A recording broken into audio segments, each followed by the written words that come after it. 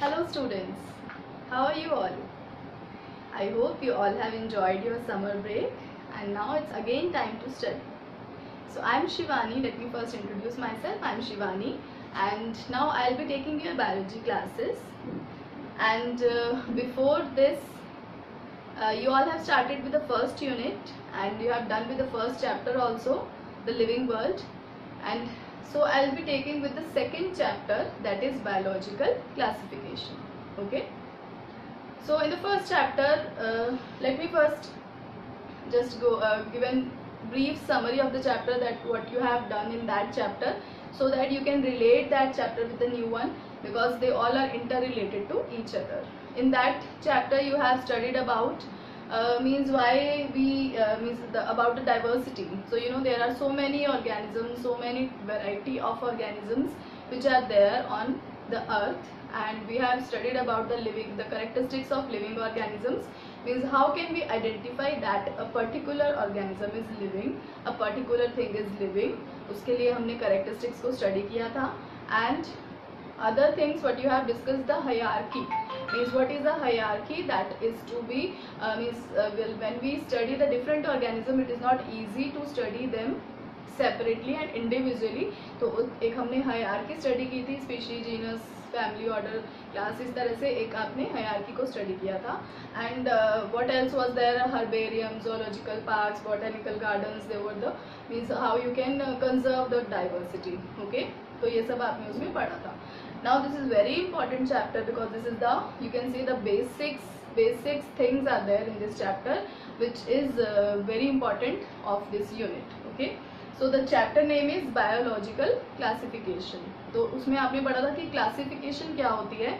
तो I hope you remember that कि classification का मतलब क्या होता है कि अगर बहुत सारे ऑर्गेनिजम्स हैं अर्थ के ऊपर और हमें एक पर्टिकुलर ऑर्गेनिज्म को स्टडी करना है तो it is not easy to study it separately या इंडिविजुअली तो उसके लिए हम क्या करते हैं? क्लासीफाई कर देते हैं ऑर्गेनिजम्स को डिफरेंट ग्रुप्स या कैटेगरीज में, ठीक है? इसके लिए मैं बहुत ही सिंपल सा एग्जांपल आपका, जैसे स्कूल का लेना चाहूँगी।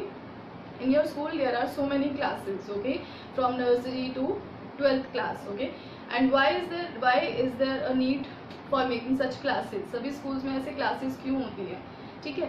तो वो इसलिए होती है ताकि आपको कोई कंफ्यूजन ना हो। Like if you are studying in class eleven then you will go to class eleven obviously ठीक है? क्योंकि आपको पता है कि ये रूम जो है, वो क्लास इलेवन को अडॉप्टेड है और आप वहीं पे जाएँगे ओके okay? तो इससे आपको ईजी हो जाता है किसी भी रूम को सर्च करना कि आपको पता है you are in class eleven that is the identification first the person for example if you are going to school and a person ask you where you want to go then what will he ask first he will ask in which class are you okay तो आप पहले उसको बताएँगे कि मैं class eleven में हूँ। तो वो आपकी आइडेंटिफिकेशन है। तो इसमें जैसे हमने आपने लास्ट चैप्टर में पढ़ा होगा the different steps how we can do that systematic taxonomy and identification classification ठीक है? तो वो आपकी एक आइडेंटिफिकेशन है कि आप क्लास इलेवन में ओके okay? तो वो पर्सन आपको बोलेगा कि आप क्लास इलेवन में हैं तो आप फ़र्स्ट फ्लोर पे चले जाइए, वहाँ पे क्लास इलेवन का रूम है, वहाँ पे आप चले जाइए। तो क्लास इलेवन के रूम के बाहर एक टैग लगा होगा क्लास इलेवन का, आप वहाँ पे चले जाएँगे ओके तो that is the classification further the classification उस तरह से ग्रुप के सब ग्रुप्स होते हैं, जैसे क्लास के सेक्शंस होते हैं, उसी तरह से सब ग्रुप्स होते हैं। तो इस चैप्टर में हम बेसिकली यही पढ़ेंगे कि हमने इतने सारे डाइवर्स ऑर्गेनिजम्स को 1.7 टू 1.8 मिलियन स्पीशीज जो अर्थ के ऊपर प्रेजेंट है, उनको किस तरह से ग्रुपिज्म किया है? मीन्स उनको किस तरह से ग्रुप्स में डिवाइड किया है so that it will make us easy to study the organism और इंडिविजुअल और स्पीशी ठीक है? तो किसी भी चीज़ को इजीली स्टडी करने के लिए हम उसको क्लासीफाई करते हैं। जैसे आप एक और एग्ज़ाम्पल मैं आपको देती हूँ, जैसे आप लाइब्रेरी में जाते हैं, ठीक है? लाइब्रेरी में there are lot of books and you have to search for a particular book then you will tell your librarian ma'am that ma'am I want science book and if you want science book she will guide you that is the identification ठीक है? वो आप identification बता रहे हैं कि मुझे science book चाहिए। That ma'am will guide you where is a science rack and you will find it there and in that rack also there will be different sections of different classes so it will make you easy to search that book ठीक है? तो इसी तरह से अगर library में सभी books इकट्ठे रख दिए जाए so will it be possible for us to search for a particular book और to keep a particular book at a particular place no that will be very difficult for us तो इसलिए किसी भी organism की study को easy करने के लिए और उस ऑर्गेनिज्म को आइडेंटिफाई करने के लिए, उसके करेक्टरिस्टिक्स को ईजी करने के लिए स्टडी करने के लिए हमने क्या किया? क्लासिफिकेशन ठीक है? तो फ़र्स्ट पॉइंट इसमें यही है why there is a need of classification तो मैंने अभी आपको यही बताया to study all possible species on earth जैसे आपको पता है कि लाइब्रेरी में बहुत सारी बुक्स हैं तो अभी एक एक बुक को सर्च करना बहुत डिफ़िकल्ट है, इसीलिए उसको पर्टिकुलर रैक में रख दिया जाता है कि हमें पता चल जाए कि ये बुक साइंस से बिलोंग करती है और ये बुक इस क्लास से बिलोंग करती है। तो जितनी भी बुक्स लाइब्रेरी में है for for example say ten thousand books हैं लाइब्रेरी में या ट्वेंटी थाउज़ेंड बुक्स हैं तो उन सबको हमें एक पर्टिकुलर पोजिशन या आइडेंटिफिकेशन देना पड़ेगा, जिसकी वजह से क्लासिफिकेशन इंपॉर्टेंट है।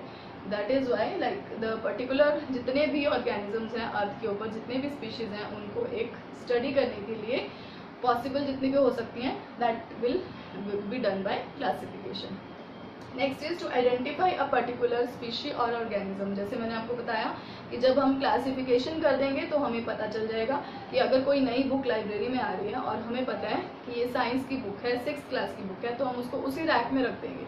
तो इसलिए किसी भी ऑर्गेनिज्म को आइडेंटिफाई हमें करना है तो क्लासिफिकेशन हमें हेल्प करेगी कि अगर हमें पता है कि एक ऑर्गेनिज्म है, उसके ये करेक्टरिस्टिक फीचर्स हैं और वो उस ग्रुप से मैच कर रहे हैं तो हम उसको उस ग्रुप में ऐड कर देंगे। That is the easy study of organism. To study the evolutionary relationship, that is also very important. Like school में क्या होता है आप अगर सिक्स क्लास में हैं तो आप ये तो नहीं है ना कि आप डायरेक्ट सिक्स में चले जाएँगे पहले आपको नर्सरी के जी फ़र्स्ट सेकेंड थर्ड ये सब क्रॉस करके ही फिर सिक्स क्लास में जाना पड़ेगा ना तो this is the evolutionary relationship means जब हम क्लासिफिकेशन करते हैं, उस टाइम पे हमने ऑर्गेनिजम्स को एक पर्टिकुलर सीक्वेंस में ऑर्गेनाइज किया है, ठीक है? तो जैसे आपने नाइन्थ में थोड़ा बहुत पढ़ा है तो आपको रिमाइंड हो, याद होगा थोड़ी चीज़ें कि हमने उसको एक मोनेरा प्रोटिस्टा किंगडम एक पर्टिकुलर किंगडम के सीक्वेंस में ही स्टडी किया था। तो वो ऐसा क्यों था? उसी सीक्वेंस में हमें उसने, हमने उसको स्टडी क्यों किया? Because there is a evolutionary relationship between these organisms तो सबसे पहले हम मोनेरा को ही स्टडी करते हैं। हम एनिमिलिया को तो स्टडी नहीं करते, हैं ना? क्योंकि मोनेरा जो थे, वो सबसे पहले अर्थ के ऊपर आए थे प्रोकैरियोट्स इसीलिए हम उसको स्टडी करते हैं। उससे हमें पता चला इवोल्यूशन हुई तो प्रोटिस्टा आया प्रोटिस्टा से पंजाए प्लांटे फिर एनिमिलिया ओके तो this will help us to study the evolutionary relationship between the organisms evolution क्या होता है कि हमें कैसे पता चलता है कि एक ऑर्गेनिज्म जो आया है, वो कहाँ से आया है, ठीक है? तो that is the evolution and relationship means उसका पुरानी स्पीशी के साथ कितना रिलेशनशिप है? That will be the evolutionary relationship so these are the things there are so many points but these three are the most important points which why do we need classification okay now next is the kingdom system of classification what does it mean kingdom system of classification means as i told you when we classify the organisms we have made the groups ठीक है तो अभी इतने सारे organisms हैं millions में organisms हैं तो कितने ग्रुप्स हम बना सकते हैं? ऐसा तो नहीं है कि हम थाउजेंड्स ग्रुप बना दें और फिर उसके अंदर ऑर्गेनिज्म को प्लेस करते जाएँ तो वो और भी कॉम्प्लिकेटेड हो जाएगा, ठीक है? तो हमने क्या किया, एक बिग द मोस्ट कॉमन जो सबसे हाईएस्ट लेवल पे है हयारकी में दैट इज़ द किंगडम जो आपने फ़र्स्ट चैप्टर में पढ़ा है तो हाईएस्ट लेवल पे क्या था? किंगडम तो हमने क्या करा है, एक पर्टिकुलर किंगडम को फिक्स कर दिया साइंटिस्ट ने, जिसके अंदर फिर फर्दर कैटेगरीज होते हैं ग्रुप्स होते हैं ग्रुप्स के सब ग्रुप्स होते हैं, उसके अकॉर्डिंगली हम उसको स्टडी करते जाएँगे, ठीक है? तो किंगडम सिस्टम ऑफ़ क्लासिफिकेशन जो था, सब बहुत से साइंटिस्ट आए, उन्होंने स्टडी किया और उन्होंने अपना अपना सिस्टम बताया कि कितने किंगडम हो सकते हैं, किसी भी मतलब टोटल जितने भी ऑर्गेनिजम्स है अर्थ पे उसको क्लासीफाई करने के लिए। तो we have these five one is two kingdom system then three kingdom system then four. Then five and then there was also a six kingdom system of classification but इनमें से आपको पता है सबसे accepted कौन सा था five kingdom system of classification जो कि आपने नाइन्थ क्लास में भी स्टडी किया होगा तो थोड़ा बहुत याद हो याद भी होगा आपको कि कौन कौन से फाइव किंगडम्स थे you have to remind that thing so we will discuss in detail one by one ki how and which scientist gave this the different kingdoms of classification and why the fifth one, the five kingdom was the most accepted kingdom system of classification. So let's begin.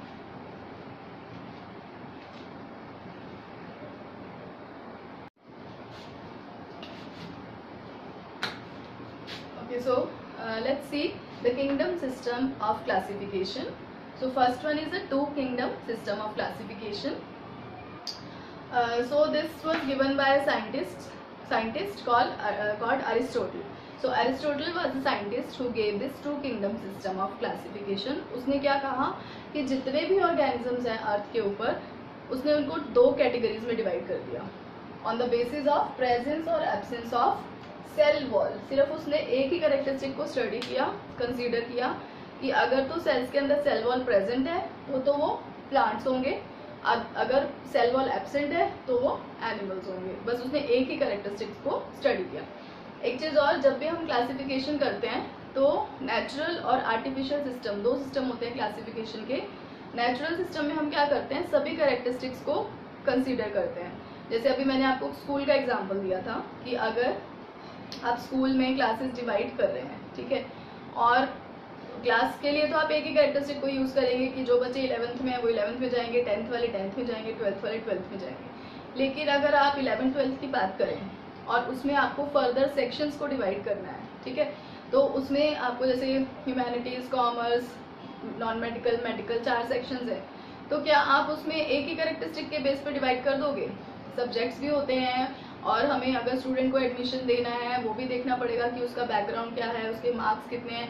So we consider many characteristics on which we divide the different groups so that will be consider as a natural system जिसमें हम सभी characteristics को include करते हैं, क्योंकि हम एक ही करेक्टरिस्टिक के बेस पे एक ही, अगर हम एक ही चीज़ को स्टडी करके हम सभी ऑर्गेनिजम्स को डिवाइड नहीं कर सकते हैं, ठीक है? तो उसने क्या किया? जस्ट उसने एक ही करेक्टरिस्टिक लिया कि अगर सेल वॉल प्रेजेंट है तो वो प्लांटे हैं प्लांट्स में आते हैं, अगर सेल वॉल एबसेंट है तो वो एनिमल्स में आते हैं, ठीक है?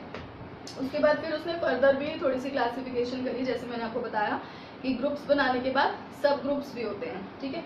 तो इसमें क्या था कि प्लांट्स में उसने बोल दिया कि हाइट के बेस पे, कि हर्ब्स हो सकते हैं श्रब्स हो सकते हैं ट्रीज हो सकते हैं। हर्ब्स जो बिल्कुल कम हाइट के होते हैं श्रब्स थोड़ी ज़्यादा हाइट के और ट्रीज बहुत ज़्यादा हाइट के, ठीक है? और एनिमल्स को उसने फिर फर्दर डिवाइड किया। वो एनिमल्स जिनके अंदर रेड ब्लड प्रेजेंट है और वो एनिमल्स जिनमें रेड ब्लड एबसेंट है। तो he was he gave this two kingdom system of classification but when when the other scientist they think over it they thought that means there are many other organisms which do not match with either of the two ठीक है? तो बहुत से organisms ऐसे हैं जिनकी characteristics ना तो प्लांट से मैच कर रहे हैं, ना एनिमल से मैच कर रहे हैं। जैसे फंगस है या जो प्रोकैरियोटिक ऑर्गेनिजम्स थे बैक्टीरियाज थे तो उनको हम कहाँ पे प्लेस करेंगे? ठीक है? तो इसलिए ये एक ड्रॉबैक था कि जो बहुत से ऑर्गेनिजम्स थे they were there were many organisms which were not matching with the characteristics of either plants और एनिमल्स तो this system was not accepted लेकिन हाँ इससे आइडिया ज़रूर मिल गया था, बाकी साइंटिस्ट को कि हाँ ठीक है कि हम एक ये करेक्टरिस्टिक कंसिडर कर सकते हैं कि सेल वॉल प्रेजेंट है या नहीं प्रेजेंट है, लेकिन हम सभी ऑर्गेनिजम्स को इसके बेस पे डिवाइड नहीं कर सकते हैं okay next one is the three kingdom system of classification It was given by Ernest Haeckel. So, Haeckel was the scientist who gave this three kingdom system of classification. उसने पहले two kingdom को study किया और उसमें कुछ जो drawbacks थे उसको ओवरकम करने की कोशिश की। तो इसमें उसने क्या किया? एक और ग्रुप ऐड कर दिया। प्रोटिस्टा का, ठीक है? तो प्रोटिस्टा ऐड कर दिया, साथ में प्लांटे और एनिमल्स तो पहले से ही चल रहे थे, ठीक है? लेकिन जब उसने प्रोटिस्टा ऐड किया तो फिर भी ऐसे ऑर्गेनिजम्स थे जैसे प्रोकैरियोटिक थे। क्योंकि उस टाइम साइंटिस्ट को इतना तो पता चल गया था कि प्रोकैरियोटिक होते हैं यूकैरियोटिक ऑर्गेनिजम्स होते हैं। तो जो प्रोकैरियोटिक ऑर्गेनिजम्स थे, वो तीनों में कहीं पे भी नहीं प्लेस हो पा रहे थे, ठीक है? तो ये भी रिजेक्ट हो गया। उसके बाद फिर आया four kingdom system of classification that was given by Copeland so he did he added one more group into this three groups he added Monera Monera में उसने क्या किया? सभी प्रोकैरियोट्स को रख दिया। जो पहले प्रॉब्लम आ रही थी कि प्रोकैरियोट्स कहाँ जाएँगे तो उसने क्या किया? एक ग्रुप बना दिया जिसमें मोनेरा को रख दिया। अब प्रोटिस्टा भी थे प्लांटे भी थे और एनिमेलिया भी थे। तो कुछ थोड़ा सा लोगों को लगा कि नहीं, ठीक है। But still there were many organisms which are not place जैसे जो फंगस वाला जो ग्रुप है फंजाई का जो ग्रुप है, उसमें जो ऑर्गेनिजम्स हैं, वो इनमें से किसी में भी मैच नहीं होते हैं, ठीक है? तो इसलिए उन्होंने क्या किया फिर? जैसे वो मल्टी सेलुलर यूकैरियोट हैं और ना तो प्लांट्स में रख सकते हैं उनको, ना एनिमल्स में रख सकते हैं तो फिर उनके लिए वो कहाँ पे जाएँगे? सेप्रोफिटिक मोड ऑफ़ न्यूट्रिशन है। तो उसके लिए फिर एक और ग्रुप ऐड किया that was in the five kingdom system of classification so let's see the five kingdom system of classification which is the most accepted one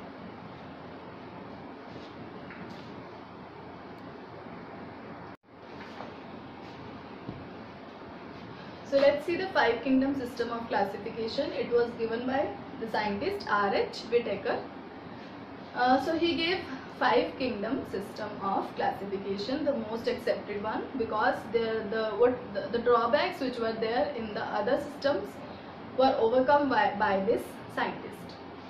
तो इसने क्या किया पाँच किंगडम दिए Monera Protista Fungi Plantae and Animalia तो बाकी सारे में जो ड्रॉबैक्स आ रहे थे, वो सब यहाँ पे कवर हो गए। उसने मोनेरा में रखे प्रोकैरियोटिक ऑर्गेनिजम्स प्रोटिस्टा में रखे यूनिसेल्युलर यूकैरियोटिक ऑर्गेनिजम्स पंजाए में multicellular eukaryotic but means उसके बाद वाले सभी मल्टी सेलुलर यूकैरियोटिक थे, कि इट इज़ नॉट लाइक कि only multicellular eukaryotic will be placed in the Fungi okay there are some other characteristics, when we will study in detail the different characteristics, then you will be more clear. Then is the plantae plantae is with the cell wall having cellulose and animalia that is without cell wall so these are not the, the two three characteristics which he considered on the basis of which he divided this into five groups there are many other characteristics which he taken uh, he took into consideration for making this five kingdom system of classification which is the most accepted one क्योंकि जो भी सारी drawbacks आ रहे थे वो सब यहाँ पे कवर हो गए थे ठीक है so we will study in detail the five kingdom system of classification उसके अलावा एक साइंटिस्ट था वूस उसने भी एक और सिस्टम भी दिया six kingdom system of classification actual में वो क्या था? था तो वो फाइव किंगडम से ही रिलेटेड उसने क्या किया था? मोनेरा जो थे, उसको दो में डिवाइड कर दिया. तो उसने क्या क्या दिए? सिक्स कौन कौन से? Archaebacteria eubacteria Protista fungi Plantae और एनिमिलिया मीन्स उसने जो मोनेरा था, उसके दो ग्रुप्स को अलग अलग रख दिया। बिकॉज़ जब हम मोनेरा को स्टडी करेंगे then we will study archaebacteria and eubacteria both so he place this this two in two different categories different groups that is why it is called six kingdom but the most accepted one was the five kingdom system of classification तो इसमें हम study करेंगे कि archaebacteria जो होते हैं, वो होते हैं एंशियंट बैक्टीरिया मीन्स जो सबसे पहले बैक्टीरिया अर्थ के ऊपर आए थे, जो कि बहुत ज़्यादा high low every type of condition के अंदर सर्वाइव कर सकते थे। और यू बैक्टीरिया जो आज के ट्रू बैक्टीरियाज हैं, जो you can say the modern bacteria जो आज की अर्थ के ऊपर प्रेजेंट है। तो आर्की बैक्टीरियाज भी अभी भी हैं सर्वाइव करते हैं, जहाँ से लाइफ ऑरिजिनेट हुई थी। लेकिन वो उन्हीं एरियाज़ में मिलते हैं, जहाँ पे अर्थ के जैसी सेम कंडीशन है, जो कि अर्थ की बिल्कुल स्टार्टिंग में थी 4.4 टू 4.5 बिलियन ईयर्स है वो जब लाइफ ओरिजिनेट हुई थी, ठीक है?